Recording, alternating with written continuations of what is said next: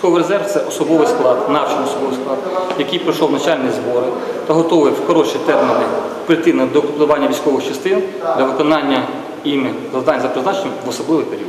В військовому резерві можуть проходити службу, військовозобов'язані, придатні за станом здоров'я до військової служби в військовому резерві, які пройшли професійно-психологічний відбір, здали нормативи фізичної підготовки та є обмеження за віком. Значить, якщо вони рядові військовозобов'язані, то з 18 до 40 років, молодші офіцери до 50 років, старші офіцери до 55 років і полковники до 60 років. Але головне, щоб було бажання.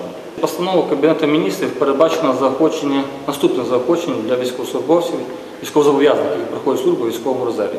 По-перше, на період зборів, навчальних чи перевірочних, коли військовозобов'язані знаходяться у військових частинах, їм виплачується середньомісячна зарплата за місцем їх основної, основної роботи.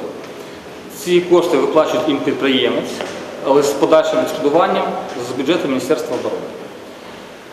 Військовослужбовці під час навчальних зборів отримують безкоштовно військову форму одягу, харчування та виплачуються їм відсотки від добових.